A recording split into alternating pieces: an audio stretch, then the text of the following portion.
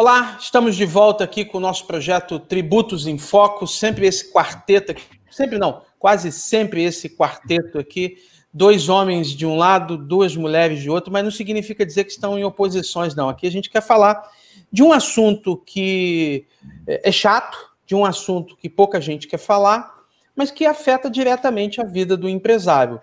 E esse é um projeto em que a gente quer trabalhar tributos não só para o comércio exterior, como sempre foi o nosso foco aqui, principalmente o meu foco no comércio exterior com o Comex Blog, mas a gente quer trazer outras pessoas falando de assuntos que afetam o empresário. A gente aqui está falando também para o empresário. Uh, na nossa bancada aqui, Daniele Fraga, uh, Carlos Melo, André Teles, os três é, representando aqui no nosso quarteto a rede de consultoria, eu, do Comex Blog, que também estou na rede de consultoria, ou seja, a gente está aqui numa matriz, tudo misturado.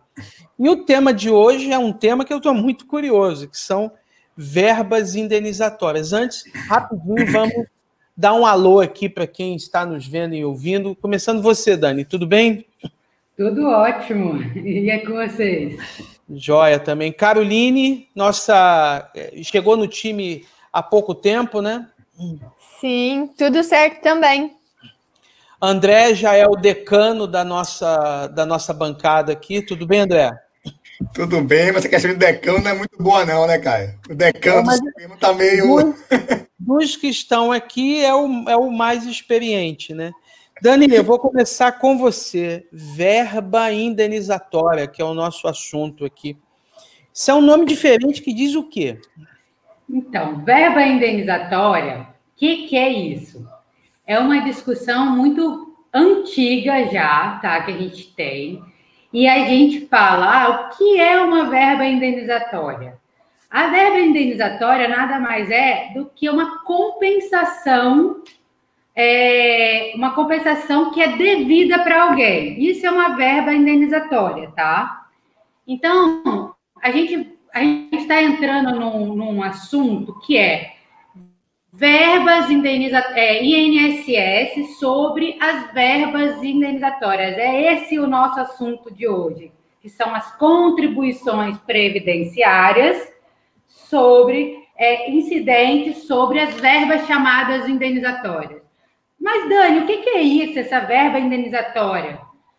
Gente, nada mais é do que quando você trabalha, quando você é, presta um serviço, você tem uma remuneração sobre esse serviço prestado.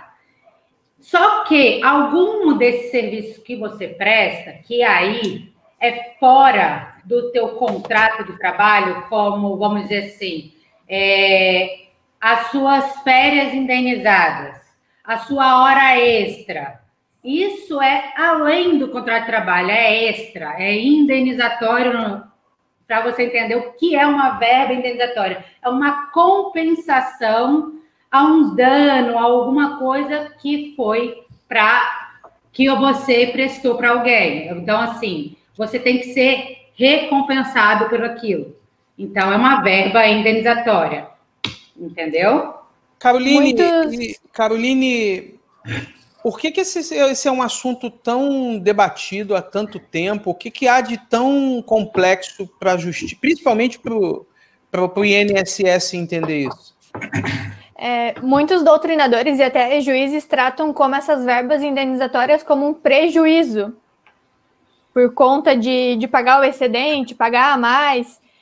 Mas nós temos o entendimento que se é o excedente, tem que é um. Não tem como calcular a nossa base de cálculo, ela está excedendo até a nossa base de cálculo. É, Para o empresário, é, a base de cálculo ela fica muito alta, fica muito excedente. Então, a folha anual dele, retirando todas essas verbas indenizatórias que não entra como remuneração do empregado, ela dá uma, uma caída, ela tem uma queda. O importante, Carlos, também é assim, que as, as verbas indenizatórias, no meu entender, são verdadeiras gratificações pelo trabalho, sabe? É, 13 terceiro salário é uma gratificação natalina, já chama. A, o 13 terceiro salário ele tem um nome, gratificação natalina. É o nome dele é esse, é esse, gratificação natalina. Então, é uma a verba indenizatória é uma gratificação, é um prêmio, é um, uma coisa que é diferente da remuneração, sabe? É bem diferente, né, André? É, é. Vamos lá. É nesse ponto, até vou aproveitar o gancho aqui, já que vai levantar, eu gosto muito de aquela expressão, né, Carlos? Back to the basics, né? Voltando ao básico, né? Vamos, vamos para o começo, alguns papos que a gente já fez. Então, qual é o começo dessa, dessa confusão toda? É, 8, 2000, lei 8 de 2012, vai 93, 92, depois da Constituição, Constituição 88 da gente, né? É, ela veio dizendo o seguinte, que incide contribuição previdenciária sobre a remuneração. Aí começamos com a discussão. O que, que é remuneração? Você pega o pai dos burros, né? O dicionário, remuneração é uma contraprestação por um serviço prestado. É isso. Só que aí, aí começamos a discutir, tá, se é sobre o serviço prestado, eu só consigo, pela lei, eu só posso trabalhar oito horas por dia, ou até duas extraordinárias, 40 horas ou 44 horas semanais, tudo que eu faço além disso, ou recebo além disso, não tem, não tem um serviço prestado.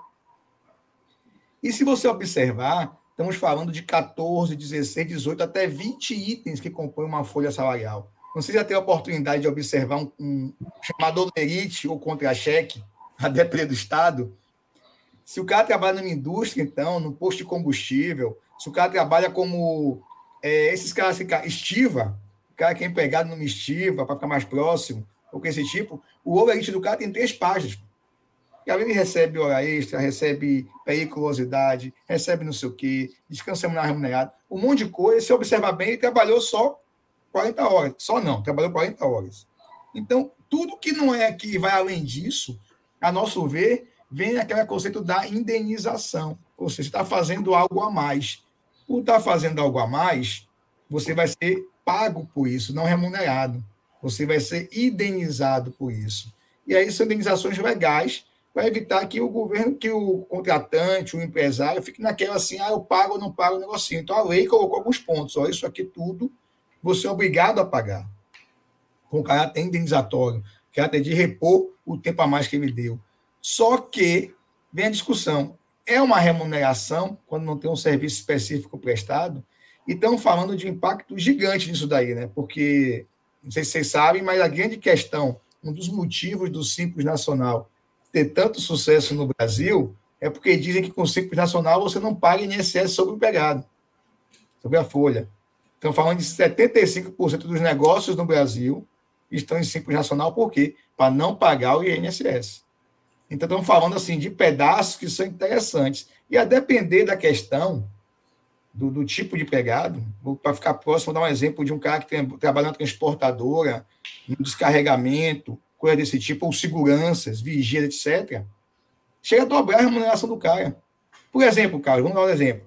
Quando você vai contratar alguém, qual a conta que você faz do salário dele? Salário mais o que eu vou deixar para o governo, né? Geralmente faz uma conta, é, é 2,2, 3,2, tem uns números mágicos assim. Isso. O que é isso? Estão falando de imposto de renda, estão falando de contribuição previdenciária. Então, o cara às vezes bota no bolso 100, mas o INSS deve ser sobre 200. Exatamente. Pois é, então, Dani, a gente, a gente paga INSS sobre o quê? A gente paga hoje INSS sobre é, empre... o empregador paga em cima da folha salário, né? O INSS, o empregado também paga uma parcela e várias outras coisas. A gente tem também os, te... os terceiros. Então, incide o INSS aí sobre receita, faturamento, lucro. É, eu ainda tenho uma dúvida sobre essa verba indenizatória. Ela é pacificada se eu hoje aqui pago uh, X de salário, X de verba indenização, para o empregado, para ele interessa quanto ele está botando no bolso. Quanto mais ele puser no bolso, melhor para ele. Sim. Mas na hora de recolher os tributos, isso é dividido. É, é, quem faz isso para mim tem a obrigação de saber que isso é verba indenizatória, isso é remuneração e eu vou pagar só sobre a remuneração ou não? Estou pagando sobre tudo? Então, é. vai falar, André. Aí, Dani, Pode falar. O que acontece, o que acontece, Carlos? Na questão, isso é muito feio, isso é muito feito. Eu acho que talvez a Carol possa falar um pouquinho sobre isso. É, na questão, quando assim, já vem no tempo a prática, quem já teve experiência de questão trabalhista, quando você tem as condenações, os acordos, você tenta colocar todo o valor que o empregado vai receber como indenização. Para quê? Para você não pagar INSS sobre isso. A discussão não é se incide é, sobre indenização ou não. A discussão é sobre o que é indenização. O que é indenização, né? É, Exatamente. Esse é o ponto. Então, vamos lá. É, é por isso que usamos verbas indenizatórias, porque é pacífico na legislação que incide contribuição previdenciária sobre a remuneração. Ok. Então, sobre indenização, não tem. Não incide. É. Não. Então, a questão é conceito. O que, que é indenização e o que não é? A nossa regra do, do, do ADCAR é o seguinte, ó, tudo que não for habitual, eu acho que é indenização. A do INSS é não. Tudo que você bota na folha do cara é remuneração. Esse O é o ponto. INSS, sim. Para a gente é, é habitual? Todos os dias ele faz isso? Como é que funciona? É, não, não é habitual. Então, não é remuneração. Pois não é. é. uma prestação de serviço. Pois é, Carol, eu vou jogar uma bomba na sua mão prática, que acontece aqui comigo. Diga, O conceito manda. de quem, de quem presta assessoria contábil para mim diz o seguinte: e- esta é a remuneração que você vai pagar e até 50% de, do salário, tudo que você puser ali é indenização. E aí entrou ah, qualquer coisa, computando até 50% do salário, é permitido fazer como verba indenizatória. Tá certo isso? Bem, primeiramente a gente precisaria ver qual que é o ramo da atividade, quantos funcionários a empresa tem. É, é difícil responder assim de 50%, porque a gente não trabalha com valores, né? Mas aí, para sanar essa dúvida, o STF veio e disse, e disse assim para a gente: olha, a gente pode determinar que as indenizações do INSS vão ser sobre o auxílio doença, o aviso prévio indenizado, um terço de férias, o auxílio transporte e o auxílio alimentação. Então, talvez esses 50% estejam abarcando todas essas verbas. Tudo que- depende, é, exatamente. Tudo depende, Carlos. Que 50%, quais são essas Sim. verbas que ele está colocando nesses 50%? Porque não é, não é matemático. Não é assim, ah, 50% você paga, o outro 50%. Não é bem assim. É, o que, que é esses outros 50%? Eu poderia, ter uma verba, eu poderia ter uma verba indenizatória de 200% do salário? A depender, sim. Vamos quer ver um exemplo muito fácil? É, Se eu desse um auxílio moradia que custaria duas vezes mais o salário da pessoa. auxílio E pagar- moradia, no caso, já, já é organizado. Tem uma discussão muito forte de auxílio moradia também, tá? Por exemplo, quando eu fui transferido mesmo, de Vitória Belo Horizonte, a gente recebe um auxílio. Recebe. E o valor era muito maior que o meu salário. E tinha que ter um cuidado de como escriturar isso para não configurar tanto base para imposto de renda, como para a INSS também. Eu fiquei durante dois anos recebendo benefício. Exatamente. E você tem uma ideia, Carlos? Quer ver um exemplo que, a depender, o pendu, a jabuticaba, que coloca mais, pode supre- supre- eh, suplementar a questão do salário de base? Pega segurança, vigia, médicos que dão plantão, que trabalham de turno. Porque tem uma coisa, tem o. exemplo, vamos supor, vigia, por exemplo, ou que trabalha no posto de combustível. O cara tem periculosidade e insalubridade. Um é em cima do salário mínimo, bacana, tem limite. O outro não, é sobre a remuneração dele. Sem Isso- limite. Se o cara dá plantão noturno no posto de combustível. ele Tem as horas extras excedentes ainda, que vai incidir muito mais verbas, né? Exato. Quando você bota tudo, você pega o salário base do cara, é a menor parte, pô. E as Sim. comissões também, André, tem, tem, estamos falando de salários miniaturas com umas comissões gigantes. As comissões Vendedor. têm também caráter Tem essa questão, faz a base, se é rotineiro ou não. Exatamente. A comissão de um vendedor que trabalha numa loja eletro, de eletroeletrônicos, que ele ganha salário do comércio e, é, Aí, comissão, que, que, e a comissão que, pode ser cinco vezes mais o salário do comércio. O que, que se criou, na verdade? Aí, no caso da legislação, que vai a remuneração dele, ele vai, vai ser base também, tá? O, o normal hoje é básico, é uma remuneração. É base, sim.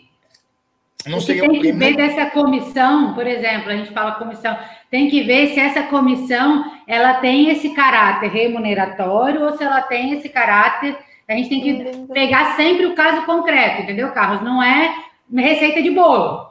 Isso. Não é você pegar a receita de bolo, ah, vou fazer isso, isso, isso. Não é bem assim. A gente vai ter que analisar cada caso de cada contribuinte. Mas é, eu estou para te dizer que quem presta serviço para pequenos e médios empresários tem isso em cima da mesa como uma receita de bolo. Aqui foi uma receita de bolo. É quantos funcionários? Você pode fazer isso, isso, isso, isso, isso, isso, não ultrapassar 50%. Uh, ah, pode pagar em dinheiro na folha, caindo na conta corrente dele, você não precisa controlar. Ah, mas esse ponto aí é o seguinte, entendi. Esse ponto ele está colocando mais por questão trabalhista, para não incorporar a remuneração, porque, inclusive, coloca você no simples, né? Verdade. Simples, e muita discussão. Isso é bem interessante a questão, Carlos, da parte tributária, tanto quando a gente fala de INSS, quando a gente fala de imposto de renda também, porque se você observar, está falando aqui, estamos rodando, falando, trazendo alguns, alguns comentários, e vamos depois, daqui a pouco, te dar o histórico também da discussão, porque chegou onde chegou agora, é, falam só de empresas, né? Aí, quando fala de empresas, você tira 75% das empresas, joga no simples, tá? acabou a discussão. A discussão é com as empresas maiores, em tese. Só que é o seguinte, e o empregado, cara? O empregado que estava sendo tungado todo mês 11% da, da remuneração do cara. E nem sabe que ele pode discutir isso. Eu estou lá com uma base, eu estou discutindo um monte de itens para não recolher meus 20% de INSS, para não recolher meus 3 a 6% de SAT-RAT, para não recolher meus 6 a 8% de terceiros, empresa, massa. E os 11% do empregado? Ninguém discute, né? Eu não vi um sindicato discutir isso até hoje. Verdade. É, óbvio. Eu vou entrar é... com uma ação para poder proteger meus sindicalizados. E essa discussão também, né, André? Ela, ela não é só da, da contribuição previdenciária, que é o INSS, que a gente vulgarmente chama, a, a é também a contribuição previdenciária do SAT, do RAT, também a mesma coisa, o mesmo pensamento. Não pode incidir o SAT e o RAT nas verbas indenizatórias, né, André? Não é isso? Também, exatamente. E a base também do sistema S, do terceiros, que usa como folha. Então, assim, tem que estar muito separadinho com, com essa base, com a situação. E aí, Cara, depois, se, faz a discussão. Se 90% dos empregos brasileiros são dados por, empre por empresas pequenas e que são assessoradas por outras empresas pequenas de serviços de contabilidade e tudo mais, tem um, tsunami de dinheiro rolando que poderia ser discutido ninguém discute, porque se eu pago aqui 30 reais a mais, 50 reais a mais, sei lá, tá tudo bem, não vou discutir isso. Aí você pega num universo de 15, 16, são 20 milhões de CNPJs que a gente tem no Brasil, né? Vai lá, 17, 17 é, milhões de pessoas que não estão discutindo. Olha quanto dinheiro está sendo jogado aí pela janela, né? que poderia estar tá no bolso, que poderia estar tá no bolso do empregador. É, você tem uma ideia, a gente briga muito no país por questão de um Bolsa Família, né? Que é cento e poucos reais, mais ou menos. Uh, só a parte dos empregados que eles pagam indevidamente, esses 11% retido deles é muito maior que isso. Discute, porque é para o empregado, é 50 reais por mês, 100 reais. Você acha que um cara que é engenheiro numa empresa vai estar preocupado porque está descontando 11% em cima? Ele nem sabe disso, nem se preocupa, porque, pô, não vou entrar com uma ação para discutir 50 reais por mês. E quando, assim, as entidades de classe podiam fazer isso, né, de forma coletiva. Ah, esse era o papel, né? Esse deveria ser o papel. Deveria ser, né? Esse deveria ser o papel. Mas aí a gente fica nessa questão, Carlos, que a gente sempre fala, assim, a gente complica demais o tributário, porque se tem ideia, a gente vê essas discussões, eu tô aqui, olhei rapidinho, quando eles, quando essa, essa questão, essa questão do, do, do, do verbo estava caminhando muito bem, estava quase pacificada, estava pacificada já. Receita Federal aceitando muitas coisas, já vendo que o negócio estava caminhando bem. Aí veio o Supremo, depois, em 2017, com o começo, Marco Aurélio, para variar, né? vem com mais ideias e reabre a discussão toda de novo. E estava voltando a analisar tudo no Supremo. Uma coisa que estava decidida no STJ. Essa é interessante. E pois é, você... é, André, e qual é o histórico, então, dessa discussão? Histórico, vamos lá. Eu sou mais velhinho, sou decano, né? Vou contar o histórico da discussão. A discussão vem desde 92, 93, para variar. É, viemos caminhando. Historicamente, o, o contribuinte ia perdendo as ações e continuava discutindo, até que o STJ começou a analisar essas questões de verbas indenizatórias e começou a ter decisões favoráveis.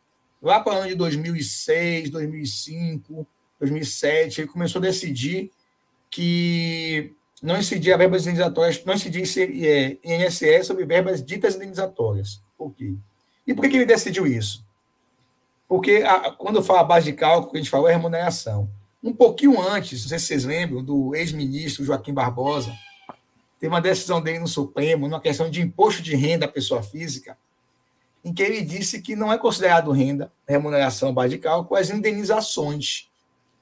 O, o que é indenização aqui? Aquilo que não é habitual, foi o que ele disse. Feito isso, o STJ começou a decidir, ó, se não é habitual, não é remuneração. Se não é remuneração, não é base de cálculo do INSS. E foi no incidente, né, André? Isso. Ele começou a decidir e o, e o STJ chegou num ponto, lá para 2012, por aí, 13, em de recurso repetitivo, que se lembra aquelas decisões que a gente falou que vincula a todos os juízes, ele chegou a decidir o seguinte: não incide é, INSS, contribuição previdenciária, sobre as verbas indenizatórias. E ele elencou algumas. É, um terço de férias, gozadas ou, ou indenizadas, aviso prévio indenizado, os 15 dias que antecedem o começo do auxílio doença ou auxílio acidente. É, falou um pouquinho também, teve algumas coisas que falou também, outras verbas. Em 2009 também, né, André? Lembra que teve aquele boom de ações que teve de, de verbas indenizatórias, que todo mundo falou, não, está chegando a questão, o, o Supremo está para decidir a questão da, da prescrição, é, é. e todo mundo começou a entrar para poder também não Sim. perder o seu direito. É, então, foi aquela verdade, loucura. Isso, na verdade, até, até 6 de julho de 2009, quem entrasse com as ações até 6 de julho de 2009 poderia buscar 10 anos que tinha discussão dos tributos por homologação, que aí é outro é outro outro é outro mas assim como é que está hoje? Então chegamos no STJ recurso repetitivo INS a procuradoria da Fazenda chegou a fazer na portaria conjunta colocou naquela lista Carlos de não deixando de recorrer. Então quando tivesse as empresas começaram a fazer administrativamente de boa vai fazendo porque o auditor vê aquilo não vai questionar começou a fazer valer o direito e algumas discussões continuaram. Quando chega em 2010, 2017, aí o Supremo vem e fala, em repercussão geral, fala o seguinte: é, a contribuição social a cargo do empregador incide sobre ganhos habituais do empregado a qualquer título. Ou seja, ele está falando de uma, de uma discussão judicial que começou em 90 e tanto, foi julgado em 2017. Quando ele fala isso, a Procuradoria, opa, tem uma chance de começar a reverter no Supremo. Porque eu vou dizer o seguinte: um terço de férias, ah, é extra, tudo bem, não é do salário. Mas esse um terço de férias, você recebe todo ano. Então, é, é habitual. É habitual. Ah, é, segundo ele. Uma hora extra. Segundo ele. Uma hora extra que você faz todos Isso. os dias, duas horas extras, é vivo habitual. É esse que é o ponto da procuradoria. Você está falando igual o procurador. Então ele fala assim: opa, reabriu, botou um avisozinho na receita na procuradoria, vamos rever esses pontos e esperar o Supremo. E o Supremo agora está tendo que dizer, porque puxou para si essa discussão, que ele disse que não é a dele. O Supremo tem súmula falando que dizer o que é indenização ou não não é dele, é do é. STJ dizer isso, porque é questão de prova, de matéria, a gente falou. Mas, vê essa dica de novo: ah, vou dizer o que é, o que não é. Por exemplo, estão julgando agora se salário maternidade é indenização ou não. Só que é. traz um ponto dizendo que paternidade era, ou paternidade não era, que, que paternidade incide INSS. Então, como é que maternidade não incide e o paternidade incide? Aí, quer dizer, hoje, qual o desenho nós temos hoje? Pacificado no STJ, recursos repetitivos, ok. A Procuradoria está observando o Supremo, tentando melhorar a situação dela, e o Supremo tendo que olhar de novo, item a item, dizendo porque puxou esse assunto. E, e, e isso, né, André, repercute muito, porque ele puxou de novo esse assunto e isso não está sendo aceito mais administrativamente. O que, que isso reflete no contribuinte? O contribuinte que estava, teoricamente, tomando aquele crédito que já, já era pacificado, você não tinha discussão. Voltou a ter essa discussão, ele voltou a ser, poder ser autuado. Então, Sim. gerou um impacto no contribuinte muito grande. E, e agora, os contribuintes estão tendo que entrar novamente com as ações, mesmo das verbas, muitos contribuintes, mesmo nas verbas que se digam pacificadas, eles têm medo para se acontecer novamente isso. Então, eles querem ter uma determinação judicial, eles querem ter uma segurança jurídica, querem ter a própria decisão, entendeu? É isso que tem, tem a gente tem sentido com, com os nossos contribuintes. Pô, mas vai ser assim sempre? A gente fala, é, pela segurança jurídica, a gente recomenda a gente entrar com a ação. Mas essas pacificadas, a gente entende que já pode, to sim, tomar os créditos, o problema grande é das não pacificadas. A gente está falando de verbas já consolidadas e verbas em discussão. Entende? Temos várias em discussão ainda. Sim. Carol, e qual o impacto disso, dessa decisão para as empresas? O impacto, tu diz o financeiro, né? É, o financeiro. É, como essa, essas verbas entram na folha como remuneração, e a, a folha vai lá em cima, né? Então, a gente configurando como indenização, o claro, as pacificadas, como a Dani falou ali, que é os que, ele, o, que os juízes estão aceitando, né? Diminui gradativamente, né? Ano a ano e compensando todos os tributos ali, cai o valor da folha do, do, empre, do empreendedor, né? Do, do, do empregador, no caso. É. Cai em quanto, Dani? É possível então, dizer? Assim, a gente, a gente faz uma estimativa. A gente fala assim, ó, se todas, se hoje saísse uma decisão da STF é, de todas as verbas forem, todas as verbas indenizatórias que a gente diz indenizatórias forem consideradas realmente não são salários, a gente soma a quase uma folha por ano do, do, do, do contribuinte. Então, ele economiza uma folha dele. Cada mês, gente... um dozeavos. Exatamente. Chega no final, ele tem uma folha de economia, uma folha salarial. O que, que é uma folha salarial, Dani? É você pegar tudo o que você paga no mês inteiro para todos os seus funcionários. Você vai economizar isso. Não é isso, André? De forma prática, André, o que que hoje, sem falar em números, mas falando em, em o que se paga, o que, que eu poderia tirar de remuneração e colocar como indenizatória?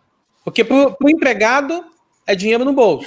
Aqui a gente está discutindo uma semântica aos olhos do INSS, né? É isso aí, exatamente. E como falou, o empregado não está discutindo, ele nem sabe esse, desse ponto, acha que não tem direito de discutir. Até porque o empregado, no caso, tem uma vantagem que ele tem um imitador, né? Então, a base de cálculo dele vai até 5 mil alguma coisa, acho que agora dá quase 6 mil reais. E a base de cálculo dele do INSS vai até isso no máximo, 11% sobre isso. Então, impacto maior realmente nas empresas. E aí nós temos alguns cenários com esses vai e vens, né? Aquela chama de bumerangue do judiciário. Por isso aí é complicado, porque você vê que uma discussão é de 90 e pouco, aí já tem um posicionamento do STJ, depois o STJ confirma esse posicionamento, bota em recurso repetitivo, encerrou o assunto em alguns pontos. A lei diz isso. Procuradoria dá ok, Receita dá ok, começa todo mundo usar alguns itens, outros não. Então, empresas já que fizeram exclusão administrativamente, empresas têm mandado de segurança, ações transitadas em julgado, favoráveis. Tem empresas que têm decisões, Carlos, transitadas favoravelmente. Porque lá atrás não estava perdendo, eles desistiram de recorrer. Ficou. E aí chega agora, assim, Segundo o, o, a Procuradoria, tem uma reabertura da discussão, que eu acho que não tem. Eu acho que o Supremo está só. que Como eles complicam muito, você tem uma ideia, para dizer que a contribuição social a cargo do empregador incide sobre ganhos habituais do empregado, ou os caras fazem uma decisão em 90 páginas, cara. Exatamente. Isso me lembra, isso me lembra uma banda sertaneja chamada Nem Nem Lerei. Não tem Mais ou menos isso. E o quanto legal também, essa discussão todinha, que é do STJ, que o André está falando, toda essa discussão foi no STJ massivamente, discutida massivamente. Hoje, essa semana, tá? A gente tem no STF o julgamento do salário maternidade como verbo indenizatório. É super novo, é uma, mas é uma decisão lá, ó. STJ vem falando. Ele, alguns falam que é verbo indenizatório, outros falam que não é verbo indenizatório. Aí o STF falou que já não ia se envolver nisso, mas agora caiu no colo deles novamente. Então, assim, está falando de uma coisa super atual, que esse vai e vem, super atual e super velho ao mesmo tempo. Porque está vindo lá desde 1900 e bolinha, que vem discutindo, discutindo, discutindo, a STJ bateu o martelo várias vezes, só que agora levou-se toda a tona, trazendo. E agora, STF, o que, que eu julgo? Mais ou menos isso. É, e fica esse ponto, Carlos, é, para poder dar uma reforçadinha, na questão do, do STF, porque acha que vai. Tem gente achando que vai mudar, porque o STF voltou a discutir. Todo mundo se apavora, né? Quando o STF volta a discutir alguma coisa, as pessoas chegam e ficam apavoradas. A gente está vendo isso o tempo é. todo. Esse ativismo para o do STF, mudando coisa o tempo todo. Só que quando a gente pega, a gente pega com, com frieza, né, com calma, e lê um pouquinho a decisão, a gente vê que não mudou nada. Ele está só reforçando aquilo que o que desde o Joaquim Barbosa falou em 2005 você fala o seguinte, ó. Se a procuradoria quisesse, não, não, não jogaria esse caso de novo na tela, né? Isso, exatamente. Aí voltou para o seguinte, ele falou assim: ah, não, porque como ele disse que é habitual, vamos discutir a habitualidade. Só que a habitualidade aí é um conceito que está na Constituição, não sei se é constitucional esse conceito. É. Volta para a gente de prova. Eu vou mostrar o que é habitual ou não. Então vamos lá. Se eu tirar férias de todo ano, é habitual. Se eu tirar férias de um ano e meio, um ano e meio, é habitual. Se eu tirar férias anunciando não é habitual? Se eu tirar férias em meses diferentes, é habitual? Décimo terceiro. Por que, por que existe o décimo terceiro? Acho que ninguém nunca falou isso. Vou falar aqui de orelhada, uma curiosidade. Mas vamos lá. Carlos trabalha com importação. Como é que o americano recebe é, remuneração, Carlos? Semana, hora e pago no, no final da semana. Toda semana. Quantas semanas ele recebe? 52, né? O Brasil recebe como? É, mensal, 30 dias, tem, tem de meses que tem um dia mais, meses que tem um dia menos. Isso aí você dá uma tungada no cara de quantas semanas? Mais quatro. uma, quatro, mais quatro semanas. Mais quatro Bom, semanas. Deveriam ser, que... deveriam ser 56 semanas e não 52, né? Não, não deveriam ser 52 semanas, a gente só recebe 48 semanas aqui no Brasil. 48, é verdade. É o contrário. Então, por isso que tem o 13 terceiro. É mais uma, uma compensação, né? É, para tabelar, décimo terceiro para pagar certo. Meu amigo, faça a conta. O cara receber 12 meses só, eles estão roubando quatro semanas do cara. Aí inventaram o décimo terceiro. Em vez de pagar igual americano semanalmente, até que fala, ó, eu vou apurar a sua remuneração semanal, mas eu boto em seu bolso quinzenalmente ou mensalmente não. E ia, ia, ter meses que ele ia ganhar cinco, cinco é... semanas. Semanas. Exatamente. Aí, para não fazer isso, jogou essa e inventou décimo terceiro. Por quê? Para poder lá, né, nosso Vargas, dizer que é o pai dos pobres, do, da, dos trabalhadores, e que é a situação. Então, esse décimo terceiro em si. Aí, quer dizer, quando você quer discutir como indenizatório, você diz que não, é uma coisa extra, que não existe, não tem trabalho relacionado. Quando você ir para a discussão da Procuradoria, que ele não esteja me ouvindo, você fala, opa, esse terceiro foi uma ficção para remunerar a quantidade de semanas que existe. Então, é remuneração. Cara, então, assim, é uma discussão complicada. O empresário fica nesse meio desse tiroteio para lá e para cá o que fazer. Como você falou, acontece essas, esses chutes, esses negócios assim, ah, 50%, 40%. Que é sem embasamento real do negócio, porque se eu for olhar o seu negócio em si. E que pode ser questionado. Pode ser ah, questionado pela. Com certeza. Pelo INSS. De onde você tirou essa conta, né? É, é, não é receita de bolo, como eu falei. Não. não então, hoje... Varia de cada empresa, de cada ramo, de, do tamanho da empresa. algum tempo. É algum só olhando tempo... a folha mesmo e vendo quais verbas ela tem ali na folha dela, né? Isso aí. Até porque Algum... um exemplo bom é o auxílio alimentação e o vale transporte. Nem todas as empresas pagam esses benefícios. Sim. E eles Exatamente. podem ser deduzidos, né? Mas esses, dois, benefícios, esses dois benefícios eu posso pagar como verba indenizatória. Sim, Pode. Já está consolidado. No Independente de quanto, no independente de quanto eles sejam é, valor fixo em relação ao salário. Sim. Sim. Pois é, que o meu contador não esteja vendo, porque ele disse que só pode ser até 50%. É isso a questão trabalhista, para poder não ter o risco de você ficar é, falsificando informações. Falseando as informações, porque aí quando entra a discussão trabalhista, né? Você entra no, na esfera trabalhista, você vai falar assim, ah, mas você está é, enchendo o seu auxílio alimentação, burlando o seu auxílio alimentação para não pagar INSS, que é Sim. também aquelas gratificações pagas por fora, que você também não paga, é o chamado é, salário pago por fora, que é muito conhecido. Muito comum Você não paga também, né? INSS, porque você paga por fora, você paga na conta ali do funcionário. Mesma coisa, você inchar o vale transporte. Você paga, mas se paga na conta do funcionário, o funcionário tem um comprovante, acabou. É, isso Exatamente. É, é, é aí que é o problema. É.